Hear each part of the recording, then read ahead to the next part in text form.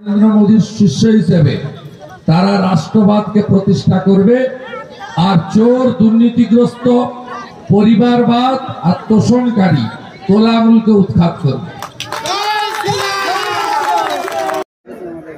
এবং আমাদের নন্দীগ্রাম একে তিনটে মন্ডলে বুথের যে টিম তৈরি হয়েছে, সেই ছত্রিশশো বুথ কর্মীকে আমরা আজকের এই সভাতে ডেকেছিলাম এবং অ্যাটেন্ডেন্সও প্রায় কাছাকাছি হয়ে গেছে।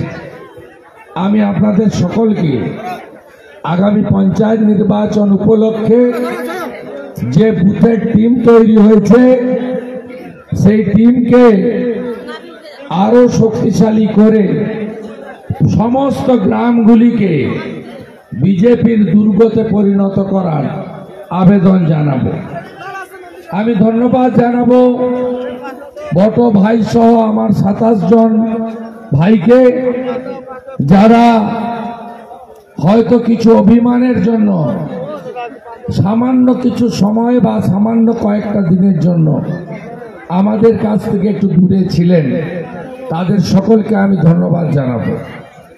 আমি ধন্যবাদ জানাব আমাদের তিন মন্ডল প্রেসিডেন্ট, ভাই শ্যামাপ্রসাদ ভাই গৌতম, ভাই ধনঞ্জয়কে, যারা এই সমগ্র ব্যবস্থাপনা সুন্দরভাবে করেছেন।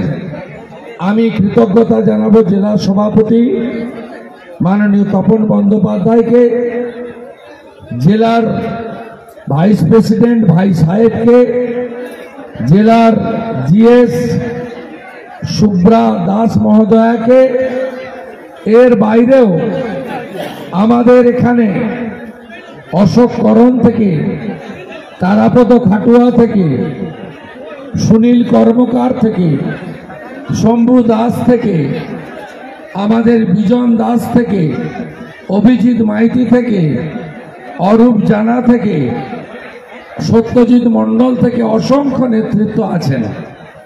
আমি আজকে খুব বেশি কথা বলতে চাই না।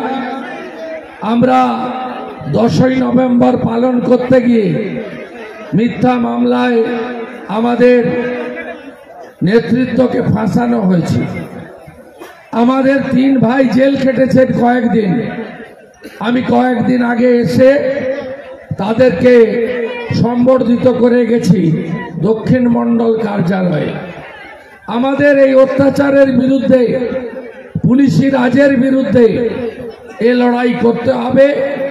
এবং আমাদের বাক স্বাধীনতা, রাজনৈতিক স্বাধীনতা, নিজের অধিকার, দেশ মাতৃকার প্রতি আমাদের যে অঙ্গীকার, পূরণ আমরা তখনই করতে পারব যখন কৃষি ভাইপো নামক আবর্জনার হাত থেকে পশ্চিমবঙ্গকে মুক্ত করতে পারব। সেদিনই সেদিনই আমাদের প্রকৃত জয় হবে। তাই আমাদের যে কথা আগের বক্তারা তপনদা অনেকক্ষণ বলেছেন। বটকৃষ্ণ অনেক পয়েন্টে আপনাদের বলে গেছে। আমি কথা বাড়াতে চাই না, আমার তো প্রায় আশা হয়। দশ দিনে একবার তো অবশ্যই। তিন তিনটে চলমান অফিস রয়েছে বিধায়কের।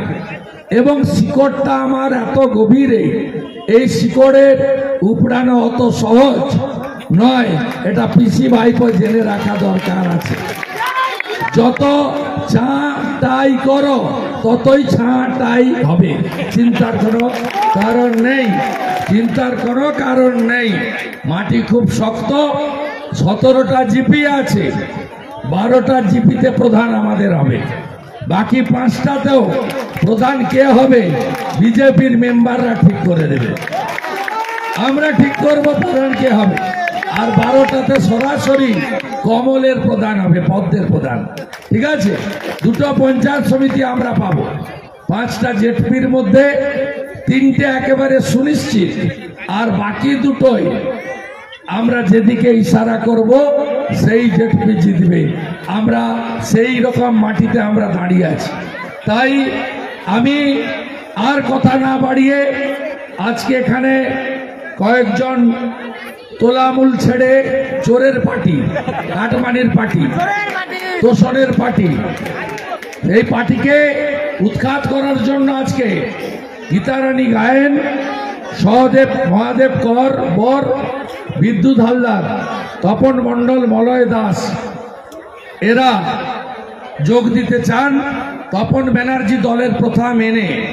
শ্যামাপ্রসাদ এবং তপন ব্যানার্জি এদের হাতে পতাকা ধরিয়ে প্রাইমারি মেম্বারশিপ দেবে স্বপন দত্ত আছেন আমাদের অবজারভার তিনিও পতাকা ধরিয়ে আমাদের দেবেন কানাইদা আছেন আমি অনেকের নাম বলেছি অনেকের নাম ভুলে গেছি। আর দুটো কর্মসূচির কথা বলব কালকে যেতে হবে না আপনাদের। তোলাবাজ ভাইপো এসেছিল আমার বাড়ির পাশে। আগে লোক বলতো কলকাতা চলো ব্রিগেড চলো। এখন পিসি ভাইপো বলে কাঁথি চলো। কাঁথি চলো রাজধানী হয়ে গেছে।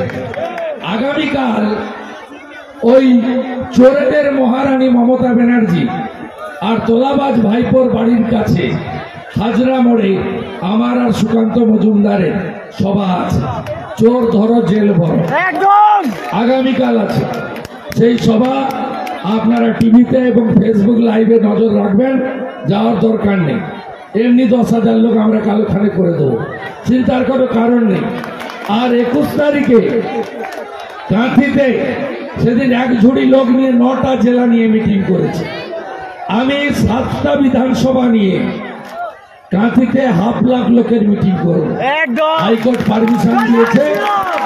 একুশ তারিখে দুপুরবেলা যারা পাবে পারবেন চণ্ডীপুর নন্দীগ্রাম থেকে যাবেন। আমি জেলা সভাপতিকেও বলেছি, তিনি সূচনা দিয়ে দিবেন।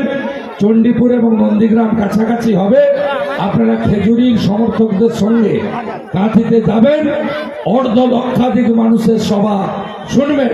আর পঞ্চায়েতে আপনাদের শুভেন্দু গাড়ি ছেড়ে দিয়ে টোটোতে আর বাইকে চড়ে সব বুথে আমি যাব, আপনাদের কাছে যাব। এবং এবং আমি আমার আবেদন করে আসব যে চোর ধরো জেল ধরো।